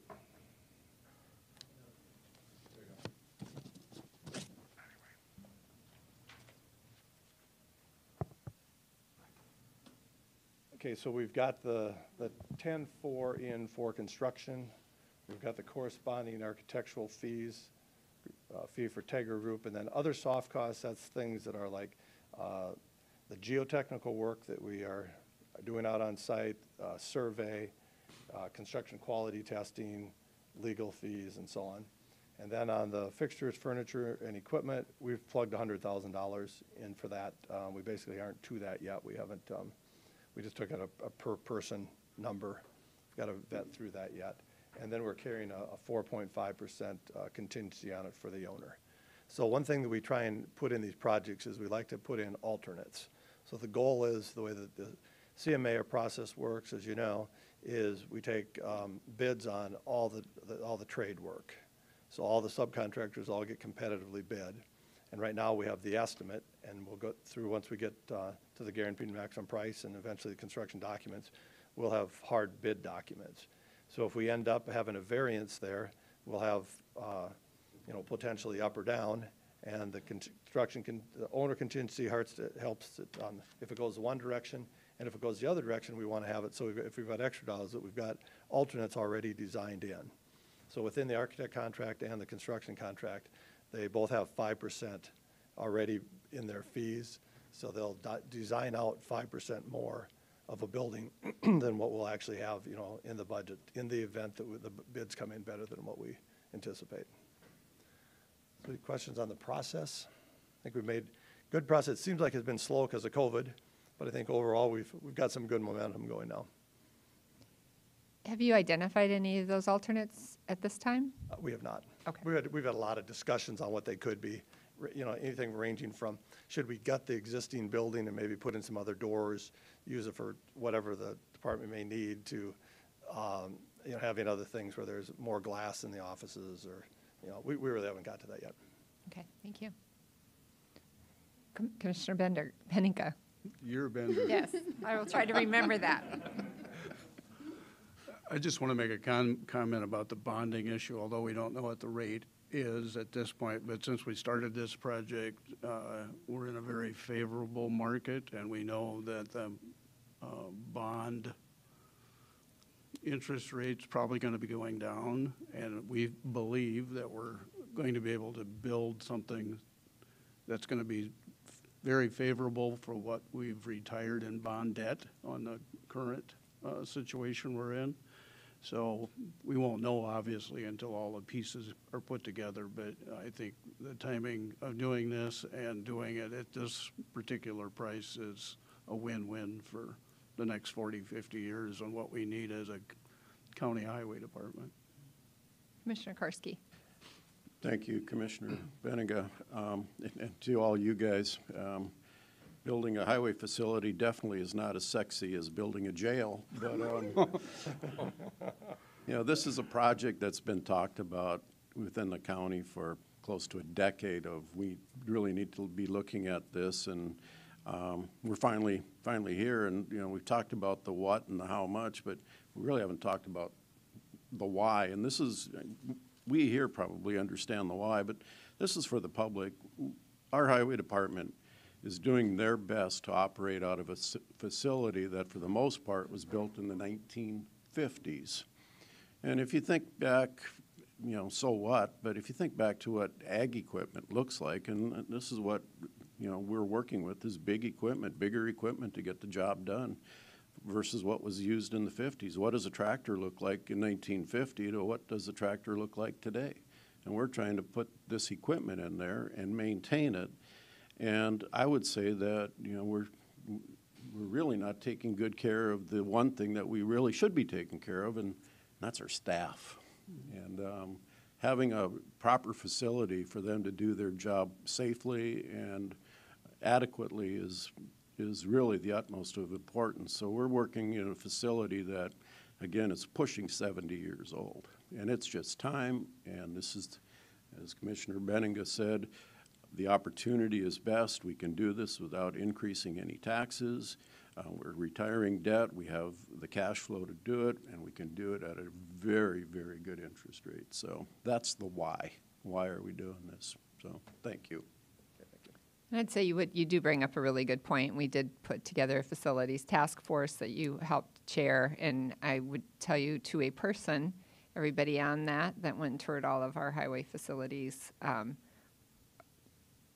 were, um, I'd, I'd say appalled, might be a fair word, by this, by our current facility. And so I, I don't think that there's any question that we need to do this. And I, I personally just really appreciate, uh, you know, it's easy to do a presentation like this. Well, not easy for me because I just sat here, but, um, but it's really all the hard work that's gone into getting this, you know, all the really painful work of arm wrestling over, um, you know, what you can and can't afford. And to, to bring us a project today that fits the scope and the budget um, is an accomplishment uh, to be recognized. And so I, I too want to thank all of you for that hard work. And I think Commissioner Heiberger had something she wanted to say. I I have a couple, well, I actually have a couple questions, and if they're too far in the weeds, then we won't talk about them now, but I want a couple of different questions I had. Are we going to use standardized, you know, we're working on standardized officing for this building. Are we going to be using that at Highway also in the, at- in their administration part?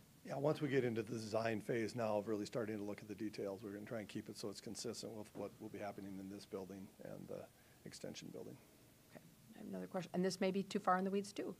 Um, And I was just wondering about um, heating and cooling of the building. Obviously, you're heating and cooling the administrative part and the storage part where the trucks are. You will be heating, I would assume, but not cooling. Correct. Um, Are you going to use forced air? Are you going to use um, waste oil? Are you going to use floor heat for a we're cold still- truck? Full- Floor heat is really good, and so I'm just, I don't know if you're even that far. Yeah, that's kind of where we're at now. We'll be getting into that level of detail. Okay. Conceptually, we know that we'll have the equipment inside. uh, And past that, we, we need to still As far as you are. work through that. We don't have That's rooftop fine. units. Thanks. Good questions. So, any other questions? Anything else you guys wanted to say?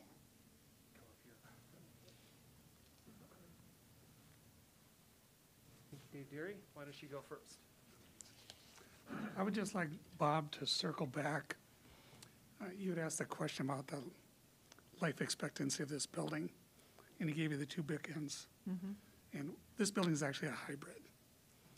And so I'd like Bob to speak to where we really think this life expectancy of this building is. Okay, thank you.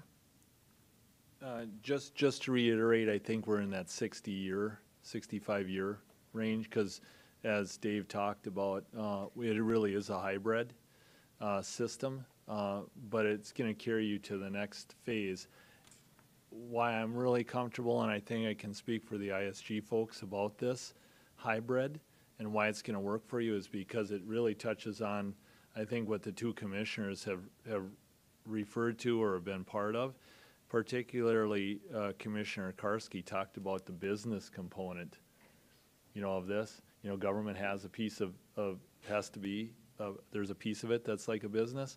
I know I'm on the town board in the township I live in, so I get it. I, I sit on that side of the table every, you know, once or twice a month on, on Tuesdays, so, um, and, and yet at the same time, the, the, the constituency is asking you to build right, you know, so that you're not keep, the folks don't keep coming back in front of you. So I do think that you're right.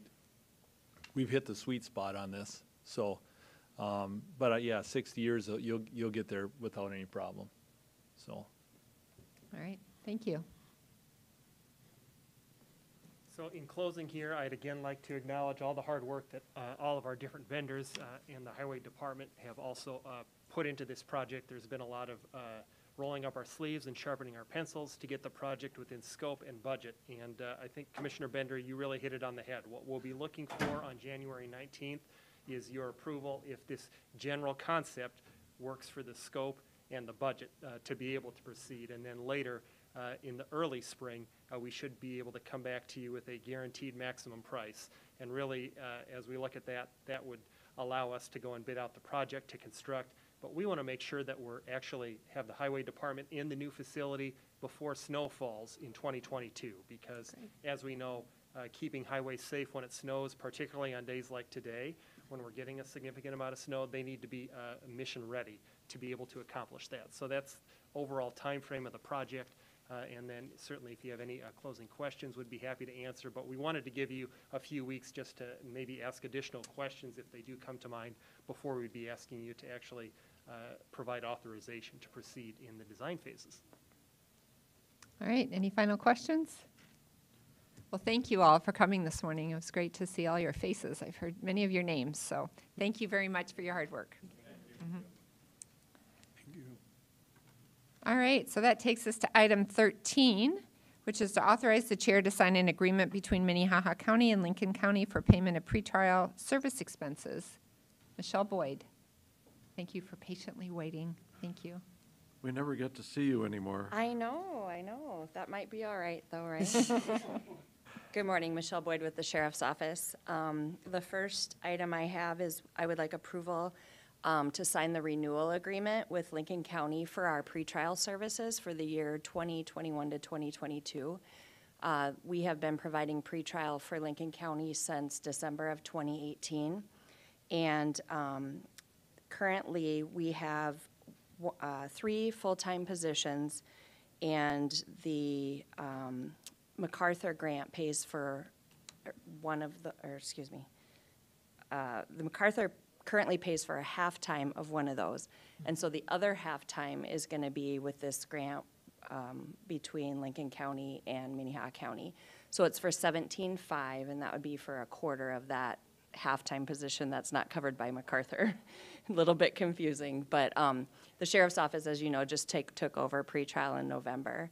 And so we will continue to work with Lincoln County on this service.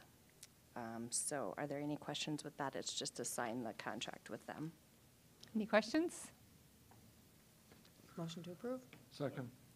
Motion and a second. All in favor? Aye. Any opposed? Motion passes unanimously. Takes us to item 14, which is also yours. Let's consider a motion to authorize the Sheriff's Office to accept the Bureau of Justice Assistance Grant for the Comprehensive Opioid Stimulant and Substance Abuse Program. It's a mouthful. Yes, and if you remember, in May of 2020, we were in front of you to ask for authorization to apply for this grant. In October, we were awarded the grant, and so what I would like to do is to be able to accept that grant within the sheriff's office, much like we do with the Highway Safety Grant and the JAG Grant. Within this grant, we will be working with the state's attorney's office for an adult diversion officer, and also with Avera for uh, peer support navigator, some case management, and then we're going to also do some sober and safe temporary housing that we're looking to subcontract out um, for a provider to operate those services. So that's the main parts of this grant. It's a three-year grant for $900,000. And um, so if you see fit, we'll accept that grant and get started on it. Questions for Michelle? Motion to approve? Second. Motion and a second. Any other items?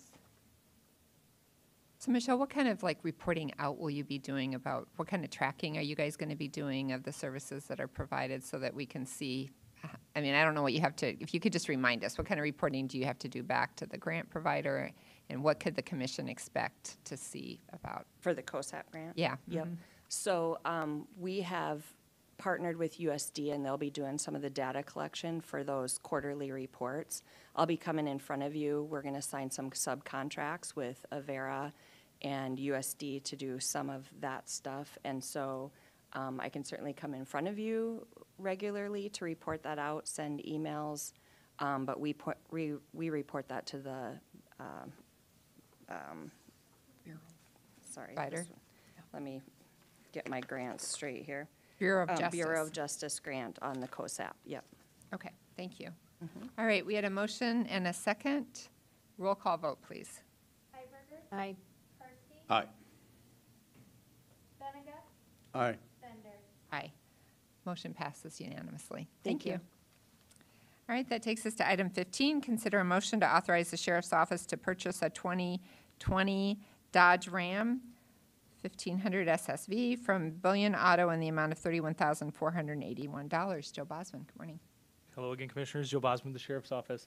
This morning, I have a request in front of you for the Sheriff's Office to purchase a vehicle from Billion Auto here in Sioux Falls. It's a 2020 Dodge Ram uh, truck that is specially equipped with the uh, equipment and vehicle necessities for law enforcement purposes. One thing you- nice about this option here is that we've identified a local vendor that has it in stock and ready to roll, rather than um, getting it from out of town. And Billion Auto will match the state bid price. Uh, That's something that the commission, I think, has talked about in the past, and we've recognized as well, that an option to buy local uh, would go a long ways here. Uh, The budget authority for this would still come out of the 2020 uh, Sheriff's Office budget that we have uh, a small amount of unspent funds to cover this cost of this truck. The setup of it would be so that, like in weather like today, we can still get out and respond to emergencies and uh, get to calls for service. One of the vehicles that is going to be replacing has a lot of rust on it, high miles, and the maintenance cost is continuing to increase every year. So that has led us to the need for this new uh, vehicle, and we request your authorization to purchase this vehicle. Commissioner Heiberger. So, thanks, Joe. Um, so is this outside of our regular replacement schedule that we do with the sheriff's office? Because we, re- we, um, we approve so many per year to be replaced, and so is this like pulling this out of that cycle? This is, this is in in addition to that cycle. So with the vehicles that we purchased with our 2020 uh, originally budgeted funds, those, that has been accomplished. This is a- an end-of-year identification that we, we try to squeeze ev- every much as we can out of our vehicles. And this would be one that eventually we would replace in some year, but it's kind of gone downhill faster than we thought. And rather than wait to order another vehicle, which is something the manufacturers have said that they are getting really far behind with shortage of parts and inventory due to COVID, that any vehicles we'd place an order, we wouldn't see for six to eight months potentially. And having this one ready to go would help alleviate that. Motion to approve. Second. Motion and a second. Any other comments or questions? All in favor? Aye. Any opposed? Motion passes unanimously. Thank you. So that takes us to item 16, which is to consider a motion to authorize the Equalization Department to purchase a 2020 Chevy Equinox from Billion Auto in the amount of $22,239. Good morning. Yep. Good morning. Uh, My name's Kyle Sexy with the Equalization Office. Um, Pretty much kind of the same scenario. We had a 2003 Chevy that was pretty much on its last leg, and it would cost more to fix it than what it is worth. So uh, we're just requesting the approval to purchase a 2020 Chevy Equinox LS from Billion. Uh, They were able to match the state bid price, so we figured we'd go locally instead of out of state. Any questions? Kyle, Sorry. Again, Heiberger. it- you said it was the same, but is it, this is out of your 2020 budget, and was this excess funding or Yes. funding that was excess funding? E- Excess funding. Okay, thank you. Motion to approve? Second. Motion and a second.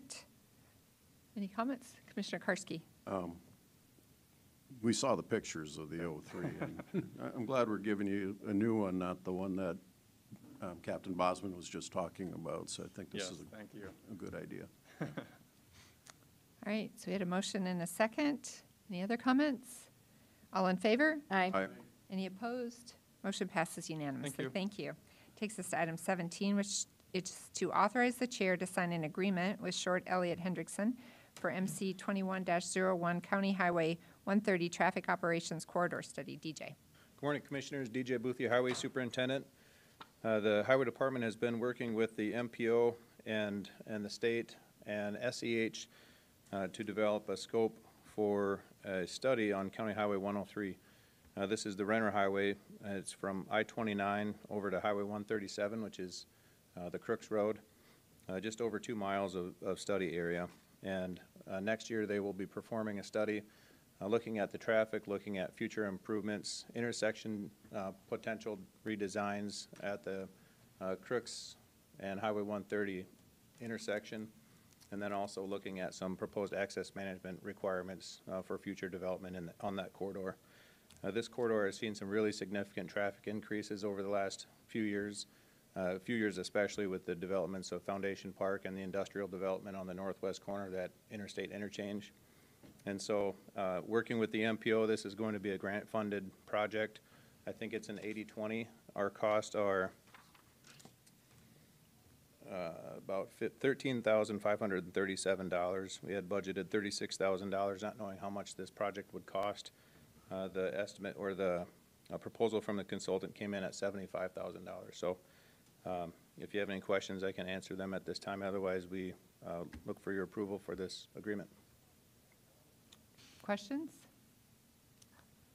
Dovetails nicely with one of our last items where we have a contract with the MPO, which just shows how that provides value to the county. Commissioner Karsky. DJ, you mentioned it, but kind of, how will this study relate or will it factor in the growth of the foundation park and everything that's going on there? I mean, I hate to do a study before we know what everything's going to be, so will it come together that way? That's the intent. So uh, we're doing a study looking at land use as a foundation park and other proposed development area uh, based off of master plans that planning office and in Sioux Falls and planning office in Minnehaha County have prepared. And so we know, or we expect that we know what kind of future developments, industrial developments will be occurring in that area. And, and so they'll have a fairly good handle or estimate on, on future track, traffic volumes over the next 10, 20, 30, 40 years. And then, and then once the results from this study are, are, are learned, uh, we would look through the budgeting process maybe over the next five years and see where we might want to do some, uh, uh, some upgrades or some improvements to this corridor. And, and I, I mentioned the one thirty-seven, one thirty intersection, uh, that there's some safety concerns there and some very significant traffic concerns there. And so this study should really hopefully guide us and direct us on what type of improvements should be done there. We've talked about a roundabout before, uh, we've talked about signals before, uh, multiple lane additions for turn lanes, that type of thing. Any other questions? If not, I'd entertain a motion. Move approval. Second. Motion and a second. All in favor? Aye. Aye. Any opposed? Motion passes unanimously. Thank you. Takes Just us- a habit there, Jean. Yeah, I know. Commissioner Barth raised his hand, which I thought was great. Um, Item 18, consider a resolution authorizing the Highway Department to apply for bridge improvement grant funds for preservation of structures 50-279 and 50-330-066. DJ. Commissioners, in 2015, the state legislature uh, started the Bridge Improvement Grant Program, and, and we've participated on different projects over the years uh, since 2015. Uh, One of the, the programs that they have are bridge preservation projects. That's different than the bridge reconstruction projects that we've participated in in the past. Um, The Bridge Improvement Grant uh, for the uh, preservation, it looks to do really heavy maintenance type of work on bridges as opposed to replacing the bridges. Uh, we've identified two projects through our bridge inspection process and through meetings with the State Department of Transportation that would be really good candidates for the, uh, for the preservation program. And on the second page there are, are the two examples for these bridges. Uh, the first one, that 50-279-140, to do a preservation project on that, the cons- uh, consultant is estimating that it'd be just under one point seven million dollars. Uh, The cost to replace that structure would be over two point nine million dollars. So uh, the rule that the, the state and the federal government uses, if you can extend the life beyond ten years, then it would qualify for this type of a project. We think that extending, um, or doing this type of work would extend the, the life of this bridge much longer than ten years. Uh, Both of these, re- uh, or the first one there, that includes a deck replacement. And so the rest of the bridge is in pretty good shape, but replacing the deck that's in really poor shape, which would ultimately lead to a reconstruction project, replacing the deck now would extend this bridge probably thirty years, uh, would be my guess. And, and so this agreement is for the preliminary design. It looks at the, uh, the scope of the project, that identifies the actual preservation work that needs to be done, uh, and starts that design process and really finalizes the construction costs. And then we would reapply next year for the grant program to do the construction. Um, The preliminary engineering portion of this for the two structures is about twenty-five thousand dollars. Um, The award process and the preservation fund is different than the reconstruction fund. It's not as objective. There's um, some subjectivity that the DOT uses to award these projects. And so we don't know until they receive all of the applications and review them if they would award any, or if they would award both of these, or if they would just award one of them. We did give them a priority Uh, The first one that's listed there is our first priority, and then the second one is a second priority. Um, We're prepared to move forward if they did award both of them uh, with the preliminary engineering in 2021, and then hopefully construction uh, for one or both of them, either in 2022 or 2023 or 2024. It's a three-year uh, funding uh, opportunity that, that you have with the grant. And so um, that second bridge, the preservation cost, it doesn't include um, as much work, and it's a smaller structure, so the preservation work is one point two million dollars.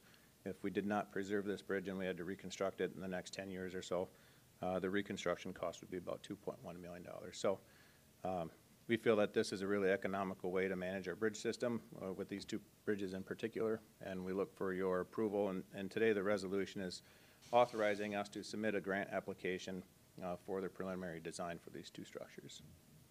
And then once we receive back, word back from the DOT, we will, uh, we'll come back to the commission for accepting those grants. Commissioner Heiberger.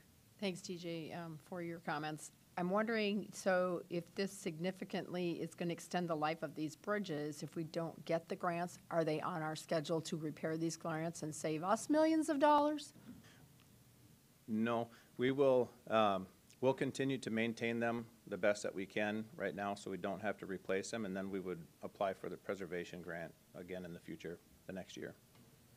But at some point, I mean, at some point, do you put it on the list five years down the road or something? Because if we don't ever get the preservation grant and it's going to save us millions of dollars, we should be doing it. Yes, technically, we would do that, but we feel pretty strongly that we would Yeah, get the we can- preservation grant, um, within the next couple of years. Commissioner Beninga.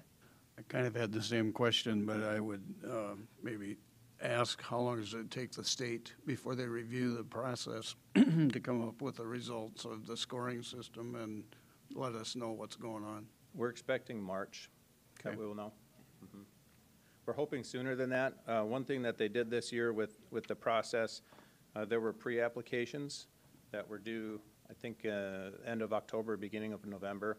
And so we submitted them information, and we've been working with the state on these two structures for quite a while. But uh, we submitted the, the draft applications so they could look them over and give us some guidance on how to best prepare our grant application uh, for submittal. And so they've seen them already. I think most of the counties did that, and so I think that the state has a pretty good idea, which will really minimize their review time. Uh, They, once they review them, they have to take it to uh, the State Transportation Commission for approval, and we would expect that in February or March. They have mon- uh, monthly meetings. Thank you. Commissioner Karsky. Just reading the description of work for structure 140, the, your number one priority. 285 foot long, it's almost as long as a football field. It's 56 years old. We're looking at expanding, or extending it for probably 20 years with the amount of work on it. I mean, it, it um, seems to be a good use of money to make that happen. So, um, you know, d- what, what did you think it would cost to build this bridge now? 2.9 million is the current estimate. 3 million? Okay. Yeah, this is an excellent candidate, and this is really, bridge preservation wasn't very popular uh, in the nation 30 years ago, and it's really been pushed because of public funding is, is just short on transportation issues. And so, uh, bridge preservation has just been pushed more and more and more, and, and that's why we have grant programs like this set up. I don't know if I said the number of vehicles. I mean, this isn't a, a bridge that has 20 vehicles a day. This has pushing 2,000 vehicles a day traveling over this bridge, so. Yeah, I don't know if you put the ADT in here, but you're right, it's probably more than 2,000. It's under, just under it's just 3,000. under 1,700, Okay, yeah, and yeah. it's not gonna go down, so. Any other comments or questions? Move approval. Second. It's a motion and a second. Roll call vote, please. Karsky. Aye. Barth. Beninga. Heiberger. Bender. Aye, motion passes unanimously. Thank you. Commissioners. So that takes us to item 19, authorize the chair to sign a software agreement and a software license agreement with CorEMR for the Jail Electronic Medical Records Program. Warden Matson, good morning. Good morning, everyone.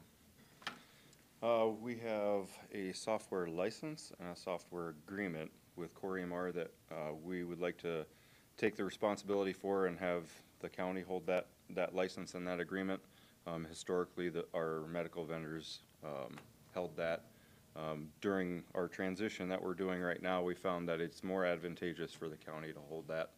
Um, There's data forms that are site-specific in that program, and if the vendor has the license and the agreement, CorEMR um, doesn't have to leave those with the county. And if we hold the license and the agreement, then all those forms that are made up for our specific site on the program stay with us. So there's no further development if, if and when we change vendors again. Thank you for that explanation. Mm-hmm. Are there other questions? Madam Chair, I have a question not to do with this motion, though. Can we, can we wait and Yeah. ask after we take action on this? Motion to approve. Second. Motion and a second. Any other comments or questions? All in favor? Aye. Aye. Any opposed? Motion passes unanimously. I'm, uh, Warden, I believe that the Commissioner Barth has another question for you. I just wanted to ask uh, how things are going with the COVID and stuff, you know, the ICUs are full, how's the jail doing? Uh, we're, we're, we're doing well. Uh, obviously, we had a bit of an uptick. Uh, we had an uptick with some staff. Um, that's leveled down. We're on a decline, uh, so things are looking pretty good. Thank you. You bet. All right. That takes us to item 20, which is to authorize the chair to sign the 2021 Sioux Falls Metropolitan Planning Organization Agreement between Minnehaha County and Southeastern Council of Governments. Craig Dewey. Good morning, Craig Dewey, Commission Office. I don't think I've ever come up at so many different points in a commission meeting before for items. I just used to standing up here and going through the lines. So this is with the Southeastern Council of Governments, uh, known as SECOG. Uh, They have a metropolitan planning organization that involves different local governmental units, really help get together and help try and plan out some transportation planning and other uh, planning and zoning efforts to make sure that there is generally some form of consistency or effort being put into designing what the local area will look like uh, moving into the future. And one thing that I think our community has really benefited from over the decades is thoughtful planning uh, that has taken place in our municipalities and out in the county as well. Uh, so this agreement has been reviewed by our civil attorneys, and this is an annual agreement uh, for participation in this. And I believe we have uh, three different uh, individuals uh, from the commission who are liaisons to the uh, UDC meetings that take place. Uh, Commissioners Barth, Beninga, and Karsky have been on that uh, this year. We'll see who's on it next year, but uh, it does uh, take uh, active participation uh, throughout the year, as those three commissioners are aware. Generally, there were not uh, really any changes except for dates as far as the 2021 agreement compared to the 2020 agreement. I'd be happy to answer any questions, though. Questions for Craig? Not, I'd entertain a motion. So moved. Motion and a second. All in favor? Aye. Any opposed? Motion passes unanimously. Thank you. Thank you. All right, that takes us to item 21, liaison, liaison reports. Are there any liaison reports today? Madam Chair? Commissioner Barth. Just a comment in a sense, uh, but in uh, East Dakota Water Development uh, District, uh, we have talked about swales as a way of reducing uh, flooding. Uh, If you have a concrete. Mean ditches? Actually, in, in, in cities, and, you know, it's like save your rainwater, hold it on your own land instead of squishing it down the road quick to your neighbor's property. And uh, so as we think about our highway department uh, and uh, water running onto their neighbors, uh, uh, retaining it and having it filter through the soil is probably a great thing to think about. And uh, we're doing a lot of studies along those lines in the East Dakota Water Development District. All right, thank you. Any other liaison reports this morning? If not, new business? Is there any new business? Madam Chair, Commissioner Barth? you know, I guess we sort of missed it, but should we sing happy birthday to Cindy? You are welcome to. You don't have to do that. I am kind of happy to do it, but not right now, I guess. Mm-hmm. Commis- Commissioner Bender sang happy birthday to me on my birthday. I so did. She did. Yeah, it was not, it was not ready for prime time, but it was okay privately. Again next time. All right, any old business? We didn't put Commissioner Heiberger's birthday under old business. There you go, That's- so we're being particularly kind to her today. All right. I- I- Decades, so it's new business. There you go. I'd like to make a comment on- under old business, which is that uh, uh, Dean and Gerald working on this uh, highway department thing is really a great Yeah. contribution. I can see it's uh, been very intensive and uh, not, not easy, trying to squeeze, uh, you know, 10 pounds into an eight-pound bag. And I, I want to thank you guys for uh, doing that. Thank you. Yeah. Great. Untold number of hours of work. People have no idea. All right, anything else? Under old business? If not, I'd entertain a m- motion to recess. So moved, second. Motion and a second, all in favor? Aye. Any opposed? Motion passes unanimously. Um, We will reconvene, let's try, well, about 10 after 11. Give ourselves a 10-minute break.